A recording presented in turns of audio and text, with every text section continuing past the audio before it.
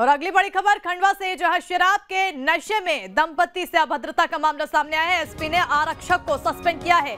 देर रात आरक्षक आरक्षक ने बस स्टैंड पर मारपीट की थी और आरक्षक ने दंपति से अभद्रता और मारपीट की थी। बताते चले कि शराब के नशे में मारपीट का यह वीडियो वायरल हुआ था। पीड़ित परिवार की शिकायत के बाद एसपी ने इस पर एक्शन लिया है। तस्वीरें भी आपको दिखा रहे हैं। आपको बताते चले कि शराब के नशे में दंपति के साथ अभद्रता करने का यह मामला सामने आया है, जहाँ आप तस्वीरों में देख सकते हैं और ये वीडियो अब काफ़ी ज़्यादा वायरल भी हो रहा है। शिकायत के आधार पर अब इस पर कार्रवाई की गई है। एसपी ने आरक्षक को सस्पेंड कर दिया है तो वहीं देर रात आरक्षक ने बस स्टैंड पर ये मारपीट की थी। आरक्षक ने दंपति से अभद्रता की थी और साथ ही साथ मारपीट की थी। शराब के नशे में इस पूरी घटना को अंजाम दिया था, यानी कि अभद्रता और मारपीट उस आरक्षक ने शराब के नशे में किया।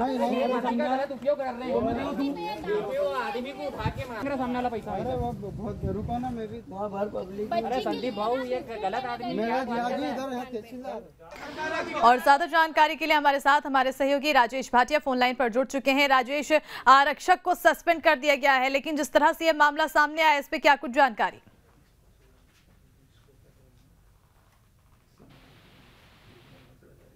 जिस तरह ये जब वीडियो वायरल हुआ उसके बाद ये जो मामला सामने आया है एक दंपत्ति के साथ आरक्षक ने जो दुर्व्यवहार किया है और मारपीट की है।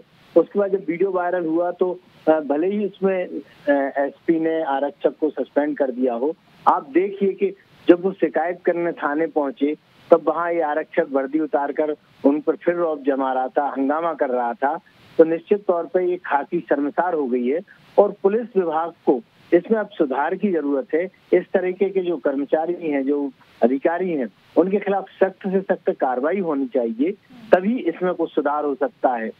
बिल्कुल। राजेश आखिर ये वीडियो कब का बताया जा रहा है? यानी कि ये पूरी घटना कब घटी मामला ये कब सामने आया? और इस पर एक्शन कब कुछ लिया गया? देखिए वीडियो का ये निश्चित समय सामने नहीं आ पाया है। लेकिन ये बताया जा रहा है कि कल शाम के समय की घटना थी ये। तो उस समय जब ये घटना घटी, उसके बाद ये वीडियो एसपी के संज्ञान में पहुँचा तो उन्होंने तत्काल ही आरक्षक को सस्पेंड कर दिया है और प्रथम दृष्टया इस मामले को जाँच में भी लिया गया है। बिल्कुल बहुत बहुत शुक्रिया। राजेश, तमाम जानकारी देने के लिए तो जिस तरह से वीडियो सामने आया, वीडियो को सामने आने के बाद, यहाँ पर एसपी द्वारा आरक्षक को सस्पेंड कर दिया गया और साथ ही साथ इस पर आगे की कार्रवाई जारी।